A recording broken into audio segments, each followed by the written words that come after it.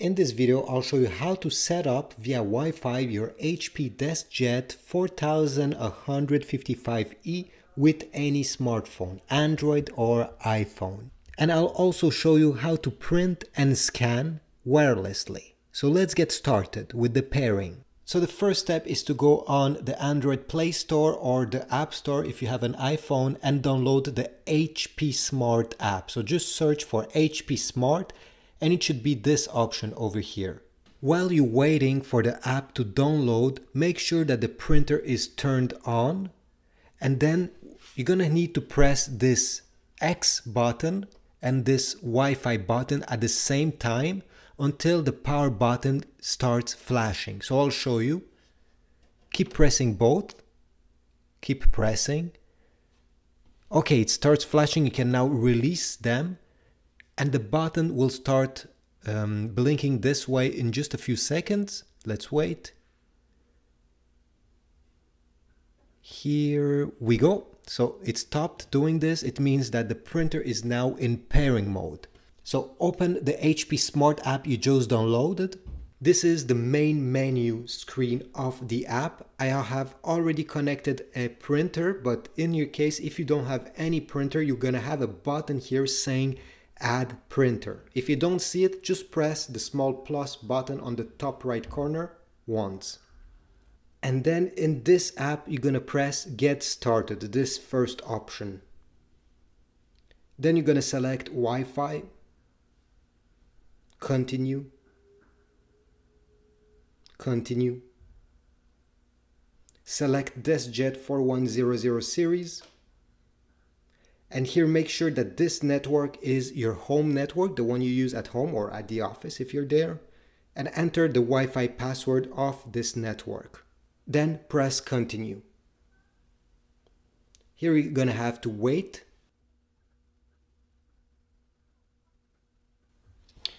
Now it will ask you to press the I button that is located over here. Just press it once and release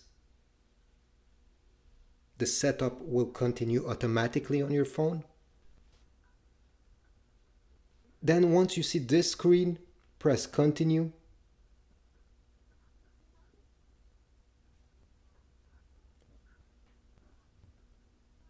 Then you'll get this screen. It's up to you if you want to accept all. I personally value my personal information and you're not obligated to share it with HP. So I'll press decline optional data.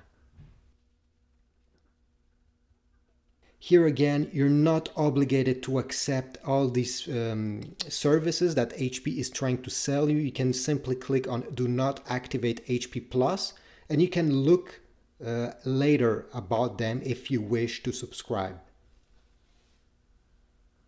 Again, decline HP Plus. Continue.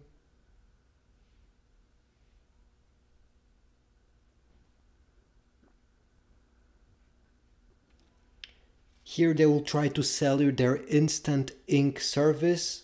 Again, I suggest you don't accept it now and you take the time to read about the term and condition to see if it fits you. So just press do not enable ink delivery. Skip offer. Now it will tell you to load paper, but you can just skip these. Press continue. Here they will ask you if you want the printer to update itself, if there is new firmware available or uh, do it manually. I always suggest auto update so I don't have to care about this. Press apply. And now you can press the skip printing page. You're not obligated to do this as well. I don't think it serves any purpose not right now.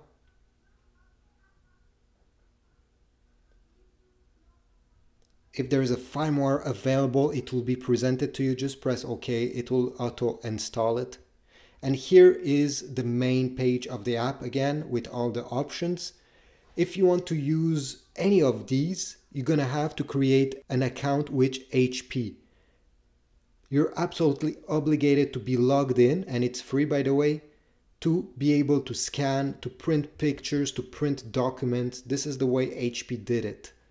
So if you don't have an account, just go over here where it says account. In my case, I'm already logged in so I can show you different features uh, of this printer. So let's get started with how to scan.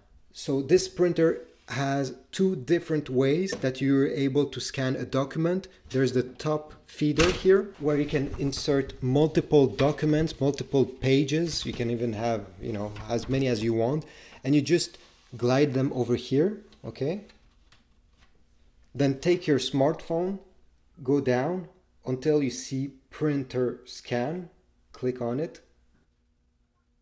Then if you want to use the top feeder like we just did, you're gonna click on here on the top and you're gonna select document feeder. Then go back.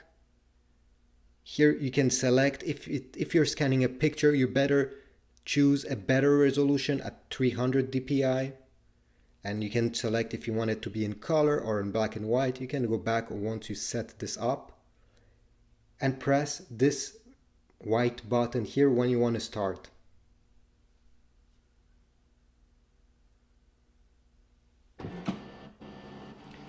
The printer will take each pages that you inserted here by itself. You don't need to touch anything, just wait until it's done. I forgot to tell you, you need to place them facing up if you're using the top feeder.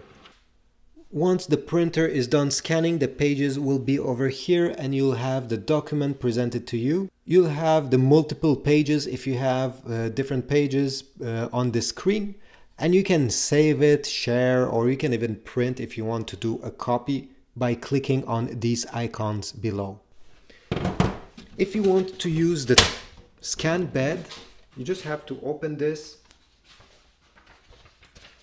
place your sheet of paper facing down and align it with this corner. Just, drag it there just glide it sorry okay? Then close it and same thing on the app. You're gonna press printer scan. Press up here and select under source scanner glass. Then make sure that these settings are fine because depending what you're trying to scan, again, you may change the color or if you want a larger document or a smaller document here. Then go back and press the white button when you're ready. When you're done, you're to be presented with the scan here. Again, you can adjust the corners if you're not happy with this, then press next. And again, you'll be able to print, share, save, do whatever you want to do with what you just scanned. Now let me show you how to print. So from here, you can go back and just say, yes, go home. Before printing, make sure that you have inserted some paper over here. Make sure that this paper tray is open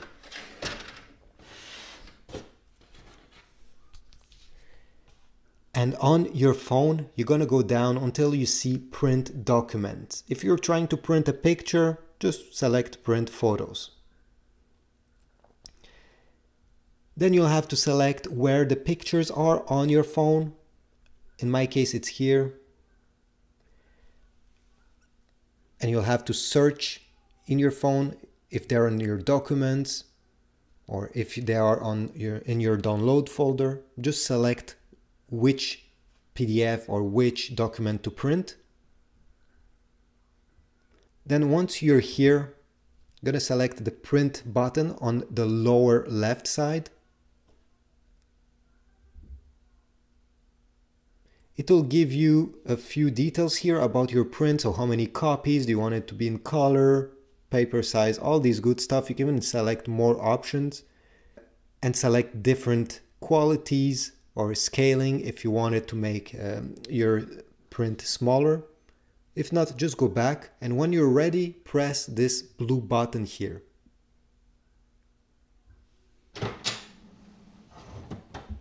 We can press not now.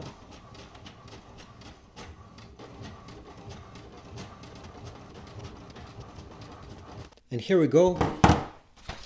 This is what we just printed. I hope this tutorial was useful. If so, please leave a like, subscribe, write a comment down below, and I'll see you in the next video.